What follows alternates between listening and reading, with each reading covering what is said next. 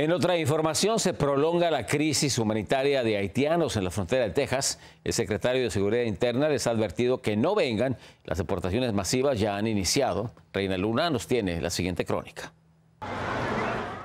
Menos 14.500 migrantes, la mayoría haitianos, continuaban este lunes bajo el puente internacional cerrado este domingo, puente que une a Del Río, Texas con Ciudad Acuña, México, mientras el secretario de Seguridad Nacional Alejandro Mayorkas visitó la región hoy y les advirtió que si entran ilegalmente a los Estados Unidos, su viaje será en vano, anunciando la llegada de más personal a esa frontera.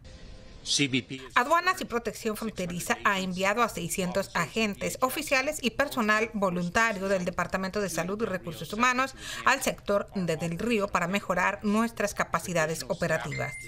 Tanto Mayorkas como Raúl Ortiz, jefe de la patrulla fronteriza, vieron de cerca la zona inundada de migrantes, a pesar de que este fin de semana inició la deportación masiva con por lo menos mil haitianos desde San Antonio, Texas a Puerto Príncipe, Haití. Mayorkas dijo que esperaban de uno a tres vuelos diarios, cada uno con 300 20 migrantes y que estaban considerando otras rutas como México y Ecuador.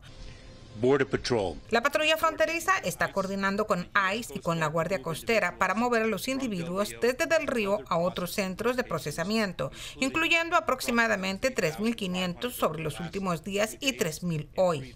Los haitianos habrían llegado a la zona desde hace semanas, pero su ingreso masivo a los Estados Unidos comenzó apenas hace unos días. Su situación no es sencilla considerando la pandemia o que tienen que aguantar temperaturas de hasta los 40 grados centígrados. Quienes tienen suerte pasan sus días en una tienda de campaña, quienes no pasan día y noche a la intemperie, todos sin los cuidados más elementales.